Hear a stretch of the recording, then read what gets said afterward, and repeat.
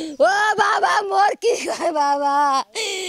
মোর খালি বুক কান্নাজড়িত কণ্ঠে কথাগুলো বলছিলেন দিনাজপুরের হাজী মোহাম্মদ দানিশ বিজ্ঞান ও প্রযুক্তি বিশ্ববিদ্যালয় শিক্ষার্থী গৌরচন্দ্র রায়ের মা পুষ্পা রানী রায়।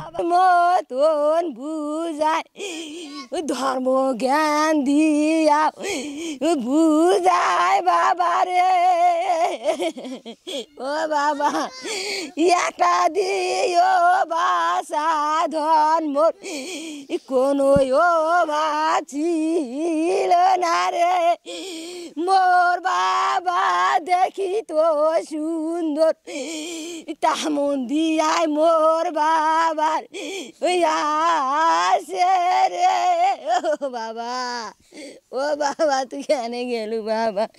মগ একবার তুই আও, না করি কেন গেলু বাবা?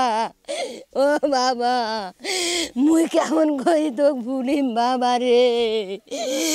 মোর জীবন যতদিন ততদিন মো কান্দাবু বাবা ও বাবা।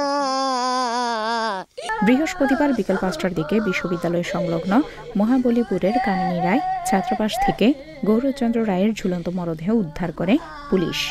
তাকে ভালোবাসি এবং বাচ্চা থেকে সবাই আশীর্বাদ করি। তুমি ভালো লেখাপড়া করো, ভালো মতন একটু দেখাশোনা করো। আর তার বাবা একটু সাথে সরল সরল লোক। আমরা এইভাবে সবাই কিন্তু তাকে খুব ভালোবাসি। ভালোবাসার কারণে তো আমার বাড়ি বড় কথাই মনে করেন এটাও বড় কথাই আর কি আমার এই ইউনিয়নের মধ্যেই তাই আমরাও তো মনে করেন এই খুবই ছেলেটাকে ভালোবাসি। এই কারণে আমি আর কিছু বলব না আর কি। ছোট্ট থাকি তাদের দিকে আমরা তো কোলেপিটি করে মানুষ করছি। যখন ছোট ছিল, তখন খুবই মানে স্বাস্থ্যবাস্তু খুব হ্যান্ডসাম ছিল। এখনও সেই স্বাস্থ্যবাস্তু আছে। আর আমরা কি বলব কন?